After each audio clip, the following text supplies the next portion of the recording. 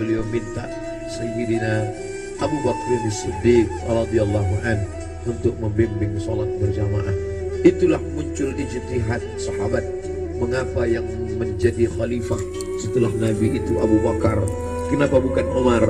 Karena ada signal seperti semacam pemberitahuan secara rahasia bahwa setelah Nabi meninggal kepemimpinan akan jatuh pada Abu Bakar Siddiq karena imamah ada dua. Imamatun sughra imam kecil imam salat. Imamatun kubra imam besar pemimpin negeri. Kalau sudah imam kecil pemimpin salat menunjukkan tanda itu juga menjadi imam besar imam pemimpin negeri.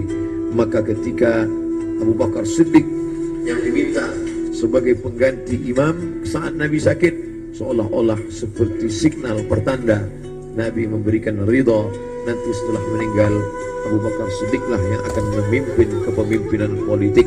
Maka berbaiatlah sahabat setelah Nabi SAW meninggal. Salat dipimpin oleh Abu Bakar Siddiq radhiyallahu anhu. Sahabat menunggu. Nabi tak juga keluar. Ternyata signal itu diberikan kepada Abu Bakar.